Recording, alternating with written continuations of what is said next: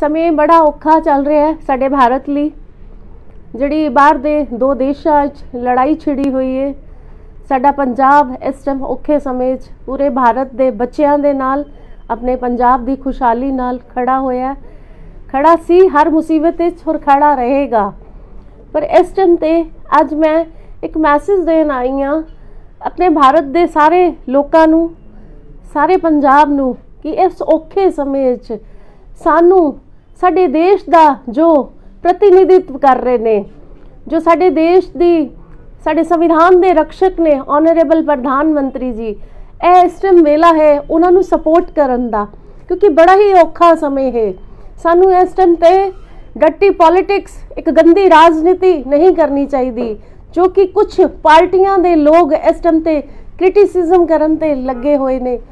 Covid ਵਾਲੇ ਵੀ ਅਈਓ ਕੁਛ ਰਿਹਾ ਸਾਡੀ 21ਵੀਂ ਸੈਂਚੁਰੀ ਦੇ ਲੋਕਾਂ ਨੇ ਕੋਵਿਡ ਦੇਖੋ ਜੀ ਜਿਹੜੀ ਪ੍ਰੋਬਲਮ ਹੈ ਨੋ ਡਾਊਟ ਜਿੰਨੀਆਂ ਵੀ ਸਰਕਾਰਾਂ ਨੇ, ਸਰਕਾਰਾਂ ਆਂਦੀਆਂ ਨੇ, ਜਾਂਦੀਆਂ ਨੇ, ਸਭ ਨੇ ਕੋਵਿਡ ਵਾਲੀ ਸਿਚੁਏਸ਼ਨ ਵੀ ਪਹਿਲੀ ਵਾਰੀ ਦੇਖੀ ਹੋਏਗੀ।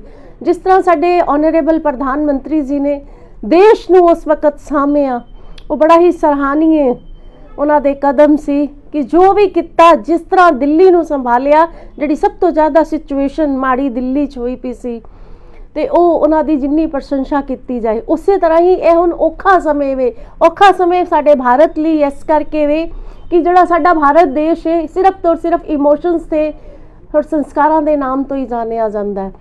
ਸਾਡੇ ਵਰਲਡ ਵਿੱਚ ਜਿੱਥੇ ਵੀ ਪ੍ਰੋਬਲਮ ਹੁੰਦੀ ਹੈ ਭਾਰਤ ਮਦਦ ਦਾ ਹੱਥ ਅੱਗੇ ਵਧਾਉਂਦਾ ਰਿਹਾ। ਹੁਣ ਇਸ ਟਾਈਮ ਤੇ ਔਖੇ ਸਮੇਂ 'ਚ ਸਾਡੇ ਆਪਣੇ ਭਾਰਤ ਦੇ ਨਾਗਰਿਕ, ਸਾਡੇ ਆਪਣੇ ਬੱਚੇ ਜਿਹੜੇ ਸਟੱਡੀ ਕਰਨ ਲਈ ਯੂਕਰੇਨ ਵਿੱਚ ਬੈਠੇ ਹੋਏ ਨੇ। ਸਾਡੇ ਪੰਜਾਬ ਦੇ ਹੀ ਕਿੰਨੇ ਸਾਰੇ ਬੱਚੇ ਨੇ। ਦੋ ਬੱਚੇ ਮੀਡੀਆ ਦੀ ਰਿਪੋਰਟਾਂ ਦੇ ਹਿਸਾਬ ਨਾਲ ਇੱਕ ਕਰਨਾਟਕਾ ਦੇ ਬੱਚੇ ਦੀ ਡੈਥ ਹੋ ਗਈ ਹੈ, ਇੱਕ ਪੰਜਾਬ ਦਾ ਵੀ ਬੱਚਾ ਜਿਹੜਾ ਕਿ ਬਿਮਾਰ ਸੀ ਪਹਿਲੇ ਤੋਂ, ਉਹਦੀ ਵੀ ਡੈਥ ਹੋ ਗਈ ਹੈ।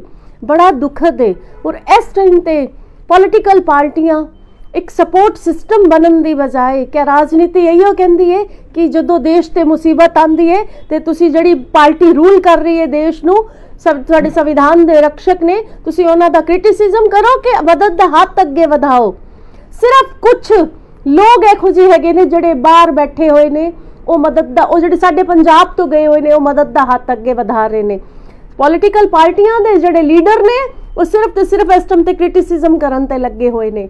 ਜੇ ਸਾਡੀ ਭਾਰਤ ਸਰਕਾਰ ਚੋਂ ਚਾਰ ਮਿਨਿਸਟਰ ਬਾਹਰ ਜਾ ਸਕਦੇ ਨੇ, ਤੁਸੀਂ ਵੋਟਾਂ ਮੰਗਣ ਵਕਤ, ਸਰਕਾਰਾਂ ਬਣਾਉਣ ਵਕਤ ਕਿੰਨੀ ਗੰਦੀ ਰਾਜਨੀਤਿਕ ਤੱਕ ਉਤਰ ਆਉਂਦੇ ਹੋ। ਹਰ ਕੰਮ ਕਰਨ ਤੋਂ ਗੁਰਜ਼ਦੇ ਨਹੀਂ, ਹਰ ਲਾਂਛਨ ਲਗਾਉਣ ਤੋਂ ਗੁਰਜ਼ਦੇ ਨਹੀਂ। ਹਰ ਤਰ੍ਹਾਂ ਦਾ ਤੁਸੀਂ ਬਲ ਛਲ ਧਨ ਸਭ ਉਪਯੋਗ ਕਰਦੇ ਹੋ। ਤੁਸੀਂ ਆਪਣੇ ਲੀਡਰਾਂ ਨੂੰ ਬਾਹਰ ਭੇਜੋ। ਲੋਕਾਂ ਨੂੰ ਮੋਰਲ ਸਪੋਰਟ ਦੇਣ ਲਈ ਨਾਲ ਪੈਂਦੇ ਜਿਹੜੇ ਕੰਟਰੀਆਂ 'ਚ ਹੋਰ ਮਿਨਿਸਟਰ ਗਏ ਹੋਏ ਨੇ, ਬੱਚਿਆਂ ਨੂੰ ਲੈਣ, ਤੁਸੀਂ ਬੱਚਿਆਂ ਨੂੰ ਲਿਆ ਨਹੀਂ ਸਕਦੇ। ਐਟਲੀਸਟ ਤੁਸੀਂ ਬਾਹਰ ਖੁਦ ਤੇ ਜਾਓ।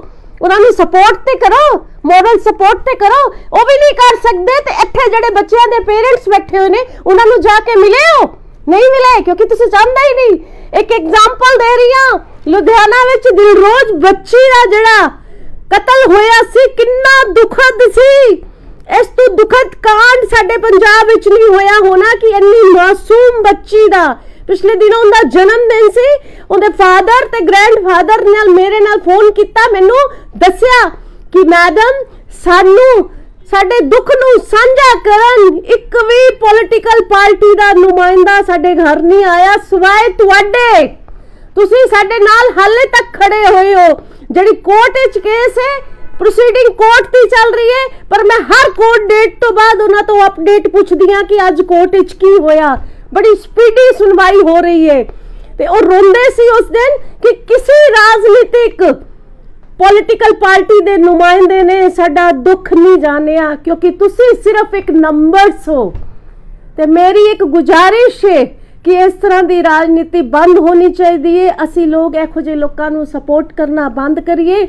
ਇਹ ਸਿਰਫ ਔਖਾ ਸਮੇਂ ਵੇ ਔਰ ਇਸ ਔਖੇ ਸਮੇਂ 'ਚ ਅਗਰ ਕੋਈ ਤੇ ਕੋਈ ਸਿਰਫ ਸਾਡੇ ਲੋਕਾਂ ਨੂੰ ਸੰਭਾਲ ਸਕਦਾ ਹੈ ਬਚਾ ਕਰ ਸਕਦਾ ਹੈ, ਸਾਡੇ ਸੰਵਿਧਾਨ ਦੇ ਰਕਸ਼ਕ ਸੰਰਕਸ਼ਕ ਨੇ ਜਿਹੜੇ ਸਾਡੇ ਓਨਰੇਬਲ ਪ੍ਰਧਾਨ ਮੰਤਰੀ, ਜਦੋਂ ਕੋਈ ਸਰਕਾਰ ਬਣ ਜਾਂਦੀ ਹੈ ਤੇ ਸਭ ਦਾ ਫਰਜ਼ ਬਣਦਾ ਹੈ ਕਿ ਸਮਾਂ ਕੋਈ ਵੀ ਆਇਆ ਹੋਏ, ਔਖੇ ਸਮੇਂ 'ਚ ਆਪਾਂ ਉਹਦੀ ਬਾਜੂਆਂ ਬਣ ਜਾਈਏ, ਨਾ ਕਿ ਡਰਟੀ ਰਾਜਨੀਤਿਕ ਕਰੀਏ। ਤੇ ਮੇਰਾ ਇਹ ਗੁਜ਼ਾਰਿਸ਼ ਹੈ ਸਾਰਿਆਂ ਨੂੰ ਕਿ ਤੁਸੀਂ ਮੋਰਲ ਸਪੋਰਟ ਬਣੋ ਔਰ ਨਾ ਹੀ WhatsApp ਤੇ ਸੋਸ਼ਲ ਮੀਡੀਆ ਤੇ ਕੋਈ ਵੀ ਇਦਾਂ ਦੇ ਰਿਊਮਰਸ ਨਾ ਫੈਲਾਓ ਜੋ ਸਰਕਾਰ ਬੈਸਟ ਕਰ ਸਕਦੀ ਹੈ ਆਪਣੇ ਕੰਟਰੀ ਦੇ ਬੱਚਿਆਂ ਨੂੰ, ਨਾਗਰਿਕਾਂ ਨੂੰ ਬਚਾਉਣ ਵਾਸਤੇ। ਰੋਜ਼ ਕਾਫੀ ਤਾਦਾਦ ਵਿੱਚ ਬੱਚੇ ਲਿਆਏ ਜਾ ਰਹੇ ਨੇ ਤੇ ਸਰਕਾਰ ਬਹੁਤ ਅੱਛਾ ਕੰਮ ਕਰ ਰਹੀ ਹੈ ਉਮੀਦ ਹੈ ਕਿ ਮੇਰੀ ਇਸ ਅਪੀਲ ਤੇ ਧਿਆਨ ਦੋਗੇ ਕਿ ਕੋਈ ਵੀ ਇਦਾਂ ਦੇ ਰਿਊਮਰਸ WhatsApp ਤੇ ਜਾਂ ਸੋਸ਼ਲ ਮੀਡੀਆ ਤੇ ਨਾ ਫੈਲਾਏ ਜਿੰਦੇ ਨਾਲ ਸਾਡੇ ਦੇਸ਼ ਦੀ ਬਦਨਾਮੀ ਹੋਏ ਬਾਹਰ ਦੀ ਕੰਟਰੀਜ਼ ਸਾਡੀ ਮੀਡੀਆ ਨੂੰ ਬਦਨਾਮ ਕਰਨ ਕਿ ਸਾਡੀ ਮੀਡੀਆ, ਜੋ ਕਿ ਅਨਮੋਲਨ ਹੁਣ, ਅੱਜ ਦੀ ਮੀਡੀਆ ਵੀ ਬੜੀ ਸਚੇਤ ਹੋ ਗਈ ਹੈ ਬਹੁਤ ਅੱਛਾ ਕੰਮ ਕਰ ਰਹੀ ਹੈ ਪਰ ਲੋਕ ਕੁਝ ਸਮਾਜ ਦੇ ਜਿਹੜੇ ਲੋਕ ਹੈਗੇ ਨੇ ਕੁਝ WhatsApp ਤੇ ਕੁਝ ਇਦਾਂ ਦੇ ਮੈਸੇਜ ਰਿਊਮਰਸ ਫੈਲਾ ਰਹੇ ਨੇ। ਸਰਕਾਰ ਦਾ ਵੀ ਇਸ ਤਰਫ ਧਿਆਨ ਜਾ ਰਿਹਾ ਹੈ ਤੇ ਮੇਰੀ ਅਪੀਲ ਹੈ ਕਿ ਅਸੀਂ ਇਦਾਂ ਦਾ ਕੰਮ ਨਾ ਕਰੀਏ।